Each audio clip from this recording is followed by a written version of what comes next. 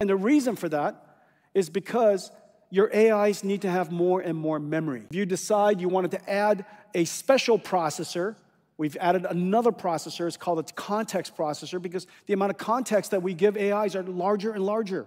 We wanted to read a whole bunch of PDFs before it answered a question. We wanted to read a whole bunch of arXiv papers, watch a whole bunch of videos. Go learn all this before you answer a question for me. And the reason for that is because your AIs need to have more and more memory.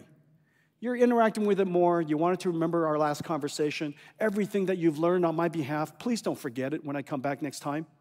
And so, all of that memory is going to create this thing called KV caching. And that KV caching, retrieving it, you might have noticed, every time you go into your, your, your uh, AIs these days, it takes longer and longer to refresh and retrieve all of the previous conversations.